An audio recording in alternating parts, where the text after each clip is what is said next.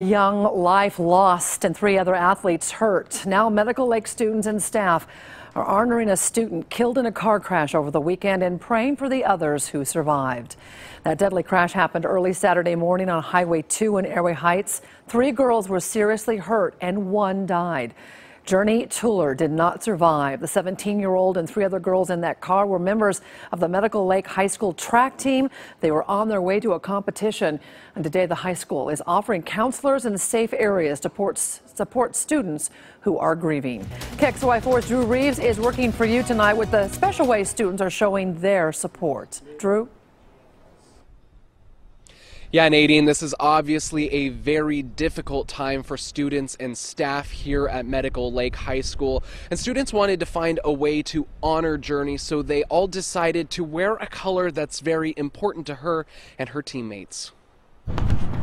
As the flag ripples in the wind at half staff, gray skies match the feeling of a difficult day at Medical Lake High School. It's uh, melancholy. You know, there's just this uh, level of sadness. Students and staff mourn the loss of 17 year old Journey Tuller. She was killed in a crash in Airway Heights Saturday morning as a car full of teen girls was heading to a track tournament. The four girls were at a stop sign at Wood Road and Highway 2 when they tried to cross the highway. The driver entered the intersection, uh, appearing to go want to go straight across, Journey, a passenger in the car, was killed. She had a beautiful smile, a very charismatic, uh, great kid, great teammate. Uh, just uh, everybody, everybody liked her. Now, three other girls are in the hospital. One of them fighting for her life. Uh, we have one that's in extreme critical condition.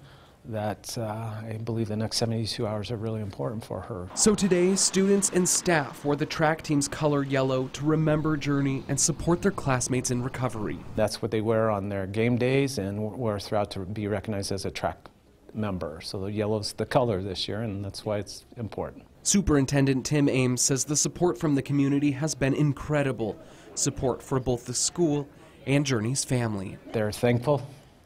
Uh, they feel blessed. Uh, they know they'll see her again.